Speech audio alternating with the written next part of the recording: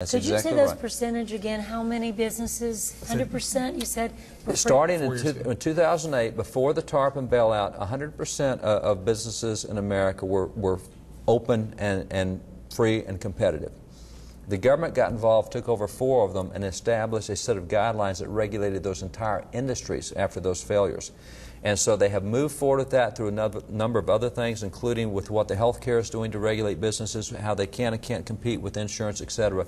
So where we are today, only 35% of business is not regulated by the government today. Unbelievable. We've lost In four 60 years? In four years. Unbelievable. see, once that once that failure went, the government says, "Oh, we'll take you all in and protect you all," and so now they And regulate what the happens dickens when the out of government provides for everybody? What does it really mean? It means also freedom, It right? means po- poverty.